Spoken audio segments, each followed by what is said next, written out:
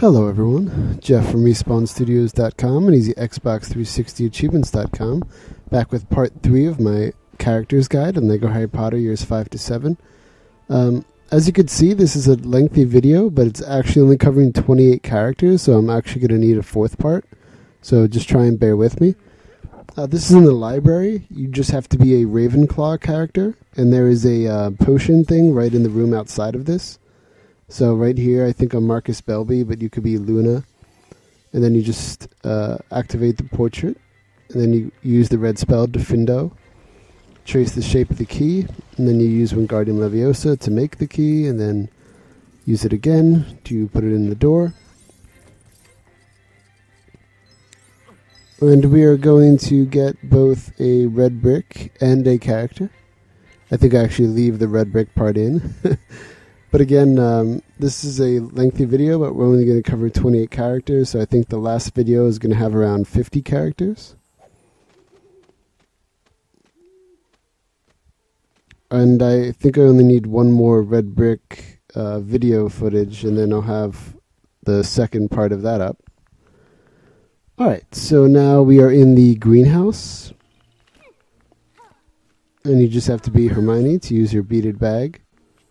And actually, I don't even think this step is really needed.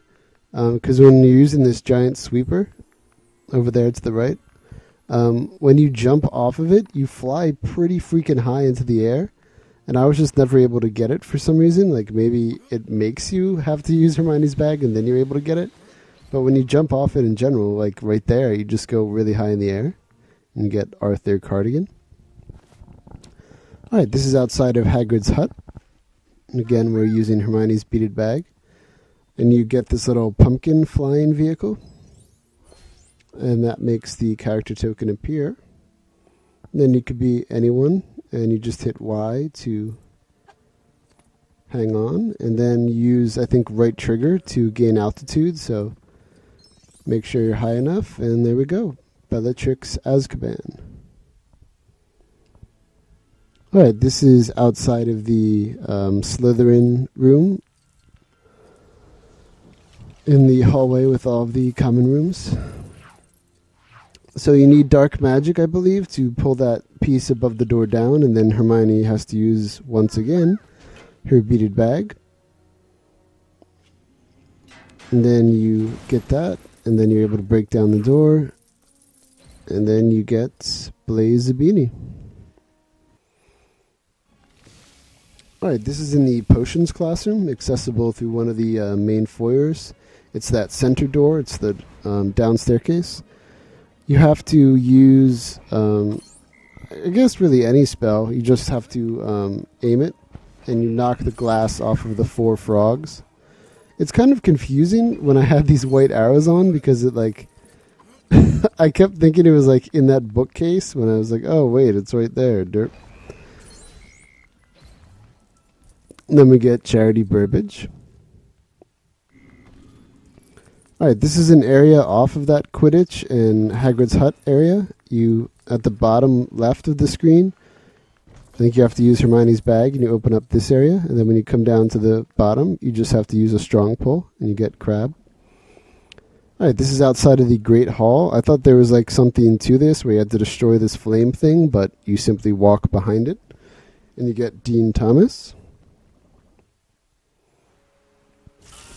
Okay, this is in the Slytherin common room itself. you have to be someone with parcel Parseltongue, and then you just stand here and put in the sequence. And this gate's going to open, and we could walk in. Draco sweater. All right. This is another area. This um, off of Hagrid's hut, just past it in the like lower right corner of the screen of that outside area of Hogwarts you can access this area with Thestrals. And then you need to be a dark wizard to use dark magic to free that other piece that I just jumped on to raise the other one. So be sure to be in uh, free play and bring a dark wizard. And then it just makes that character token appear when you stand on the rock, push it down. Alright, this is in the um, divination classroom. For this, you have to destroy each of those three. Uh, I don't even know what they were, but when you destroy them, they release pieces, and when you put them together, you make that giant teacup, and you get a character token. Neville pajamas. All right, we are back in the library.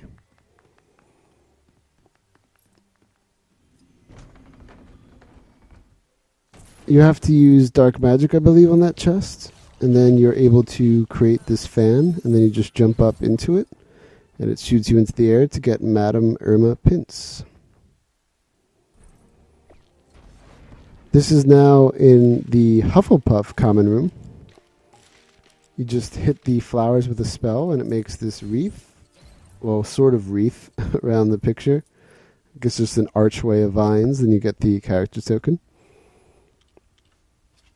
And we are now in the Gryffindor common room. You have to be Ron, get the light in his deluminator, bring it over to the picture, and release the light, and you immediately get McGonagall pajamas.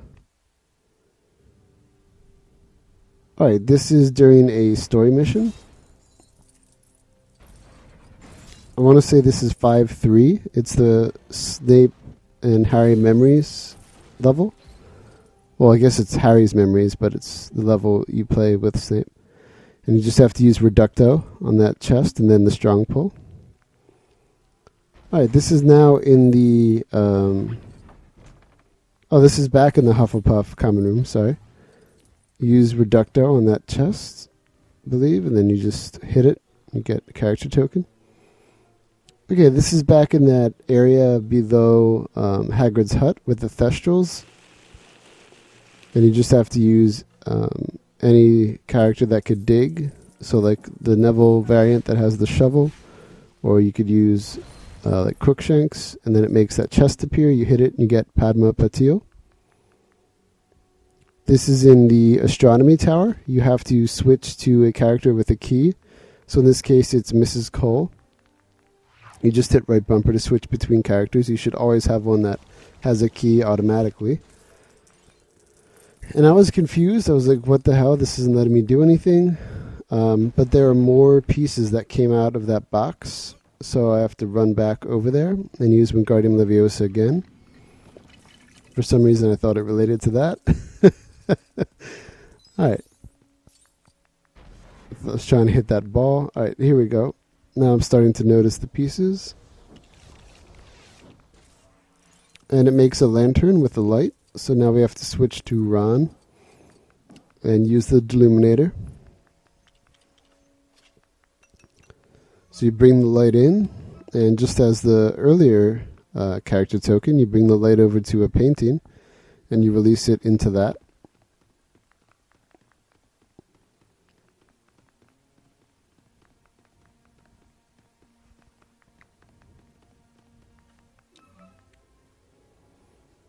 Here we go.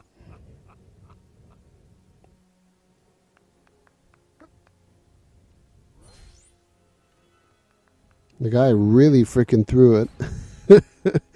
there we go, Professor McGonagall. All right, this is back in the divination classroom. You just have to use Augmenti on that water tank. And you get Professor Trelawney.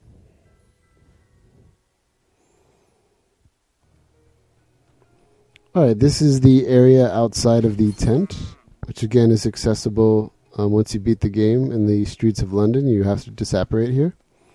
And there are going to be these three horses things running around, and you just hit them with spells, and they run over here and then do this crazy coordinated dance. That's one of the random Lego game things. There's always some weird dance, like the skeletons are always dancing. And I guess that's Hermione over there by that one freaking out. but once they finish, you get character token for Remus Lupin. Alright, now another long video. This is kind of amazing. You have to be Ron, use the deluminator again, pull the light in. This is off the covered bridge. This is the Hagrid Hut area again. And you bring it down here to the Quidditch pitch. which you had to, um, I think, use a spell to put something up there. I'm not sure. But regardless, you have to use the illuminator anyway to bring the light down. And then when you come in here, this is just a little time sequence. Once you make a full loop, it's over. And I wasn't sure like what to do exactly. Um, so I missed this first character token, but I'm going to show right after this when I came back and got it. And you could repeat this as many times as you want, but when it finishes, you exit, so you just have to come back into the area. So there we picked up Ron Quidditch. And a gold brick, actually. There's another character token for Nymphadora Tonks. And here's the end. We get a buttload of Lego bricks. Alright, so you see there, I was like, no. I thought you were able to go around again. Alright, but this is me returning. You see all the Lego studs are gone. But uh, get to the top left of the screen to be able to get Madam Hooch. Alright, this is back in the greenhouse. You have to be a dark wizard in the back right corner. And you get Slughorn Young.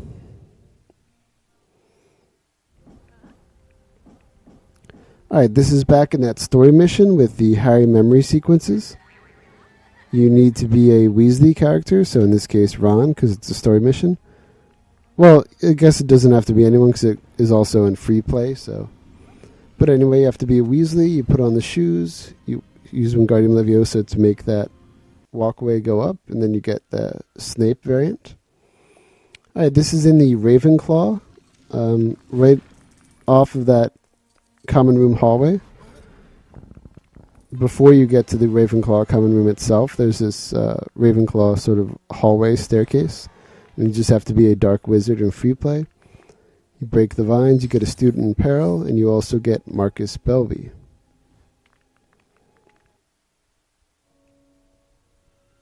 Okay, this is in the Great Hall.